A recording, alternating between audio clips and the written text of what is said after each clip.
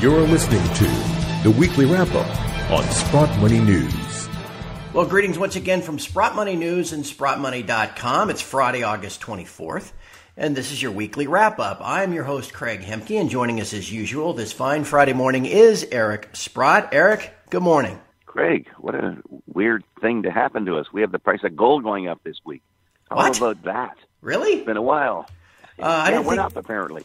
I didn't think that was legal. Um, okay. Yeah, no, exactly. It's up more than 1%, Eric. How about that? That's something new for us to talk about.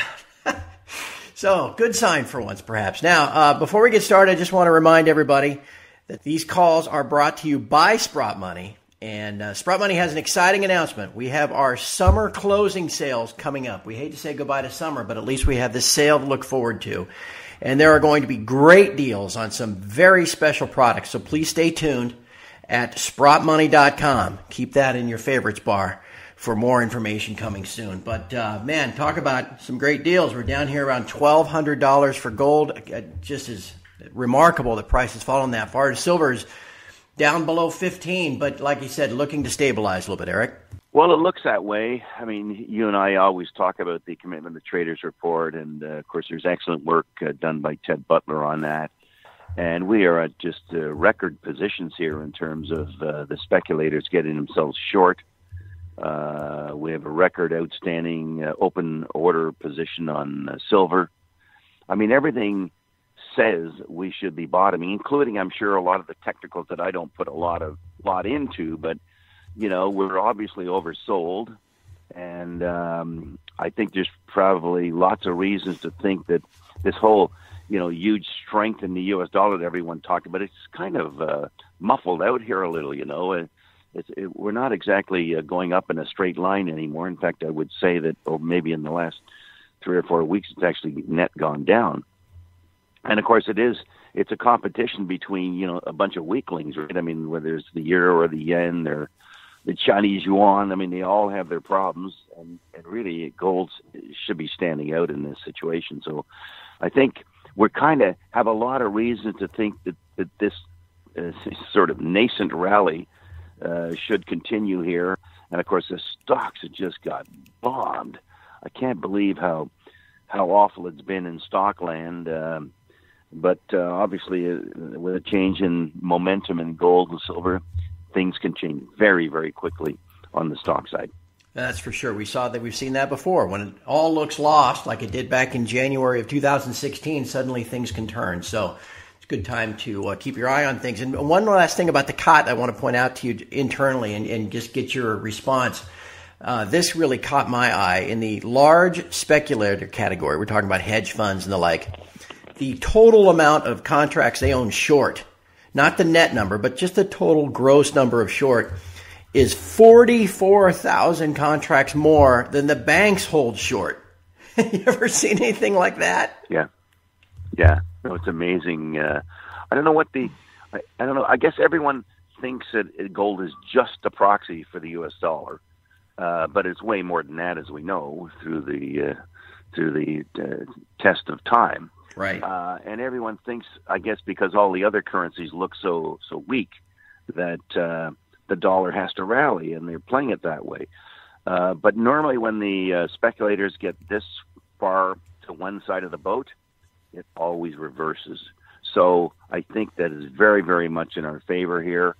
Uh, if we can pop back to twelve hundred dollars, um, maybe uh, there, there's lots of reason to think that the U.S. dollar could be weak, including you know the goings on uh, in the world of Trump down there. That uh, you never know from one day to the next uh, what's likely to happen. And I would think that you know between the uh, political machinations, the deficit, the, the weak economic numbers. We keep getting these weak economic numbers. We had uh, housing sales were weak, new home sales, existing home sales were weak. The uh, purchasing manufacturers index, both services and goods, uh, were weak. We've got durable goods orders were weak. I mean, the whole the, macro the macroeconomic statistics are pointing downwards here. So uh, to think that four percent GDP growth will continue, I think is uh, is being way too optimistic. And as I've said in these other chats, it, the four percent will probably get revised lower anyway, which is typically what they do. So um, I think there's lots of reasons to think that the dollar's not going to um, be leading the parade too much longer. And yet today we're going to have uh, Fed Chief Powell speaking in Jackson Hole talking about additional Fed funds rate hikes. While at the same time, you mentioned the economy is slowing and it's not even a yield curve anymore, Eric. It's more of a yield plane since it's so flat. Yeah, right. Uh, what do you? And even the trade war. I mean, we we got a trade war that's still in uh, full blossom here, right? And the trade war is not going to be good for for people, you know, because there's inflation because of trade wars and tariffs and things like that, and disruption of jobs and so on. So there's a lot on the table that the market seems very willing to ignore. Uh, that is going to continue to to lean on the economic growth going forward here. A couple of other items I want to get your thoughts on this week, Eric. One, uh, I saw a report a couple days ago that the Russians, who have been consistent buyers of gold now for several years, uh, added in July 800,000 ounces, which is a lot. It's actually ahead of their run rate. They've been adding about 600,000 ounces on average the last four or five months. Now they did 800,000. They basically sold all their treasuries, and uh, now they're increasing their gold purchases.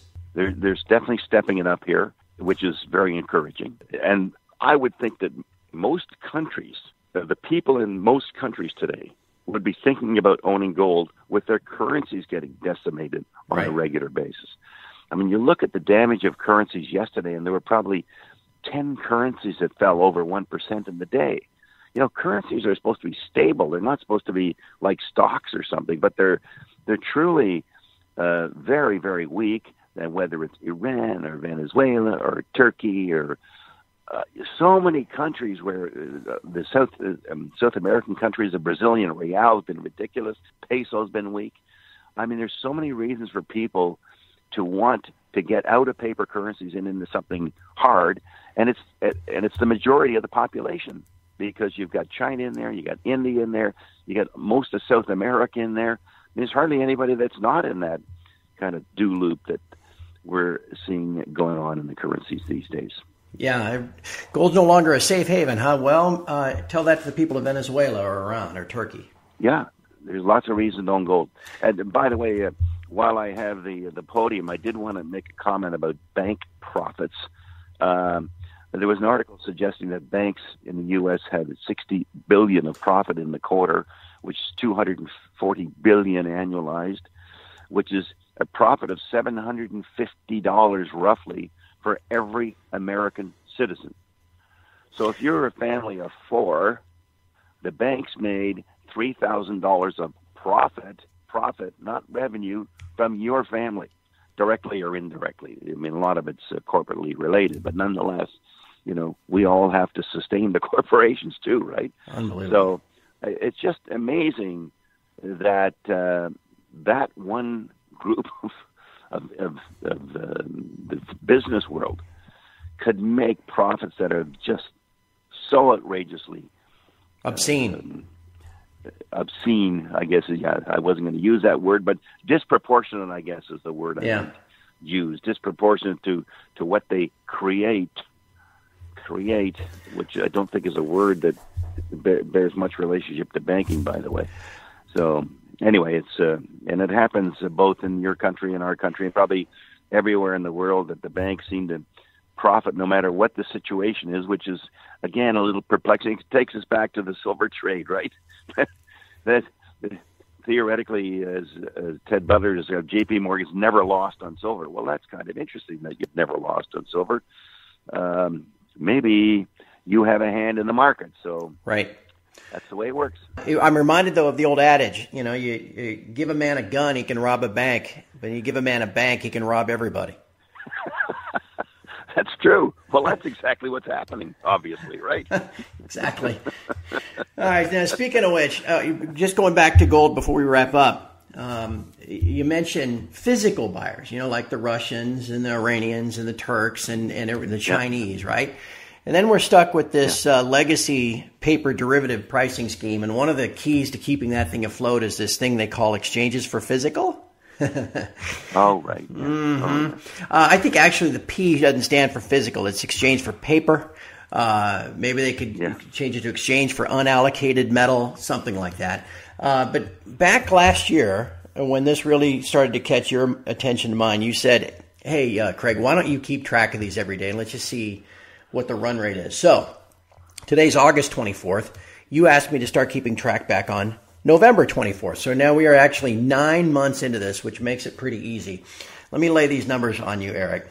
Uh, in the nine months since I've been keeping track of these every day, the total amount of COMEX contracts allegedly exchanged for physical is 1,913,258. Let me do the math. That's 100 ounces per contract allegedly, so that's 191,325,800 ounces. And that is 5,951 metric tons which even I can do that next bit of math. That's a run rate of about 8,000 metric tons per year. Twice the annual global production of gold. Just that's just through a quarter. Which means I, yeah, eight thousand is what two and a half times. I know. Yeah, which means it's not being settled, right? I mean, it's there's something very odd going on in the COMEX. I don't know how these contracts just disappear off the face of the earth. Uh, it it needs some kind of explanation, which uh, unfortunately we're not getting, and or somebody's building up one hang of a large short position out there that's never going to be filled, which could very well happen too. We see the same thing in silver. You know, these huge 1.2 billion ounces outstanding, maybe 1.3 billion ounces now. Yeah. We only produce about eight or excuse me, eight or nine hundred million a year. so, and and it's not as though there's inventories of silver kicking around. There are yes, there are right. inventories of gold, but not silver. So anyway, it's uh, it's it's going to be a conundrum. Uh, you and I talk about it all the time. It it'll get resolved in due course. So and and of course it has to be positive. There's no way it can be negative.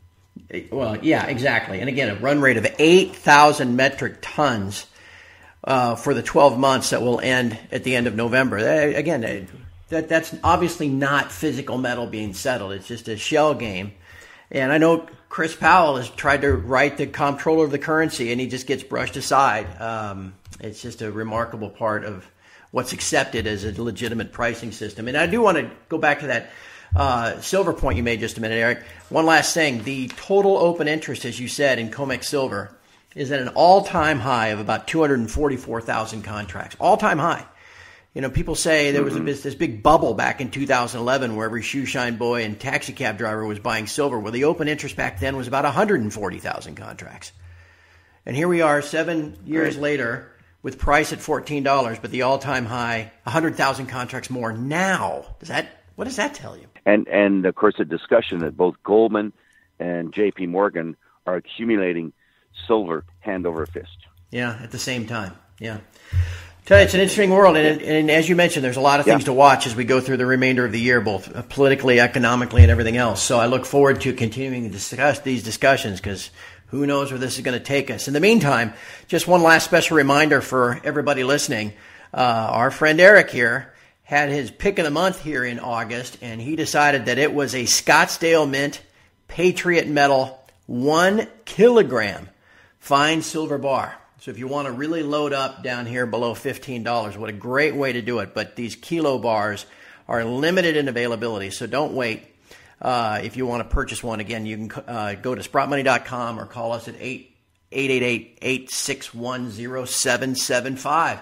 Uh, Eric, Again, thank you for your time this week. It is a fascinating time to be observing this market. It's even as frustrating as it's been, and I look forward to seeing what the next week holds. Hey, fingers crossed. It's uh, it's been good. We got a good day going here today, so uh, hopefully we'll uh, have uh, some things upbeat to talk about next Friday.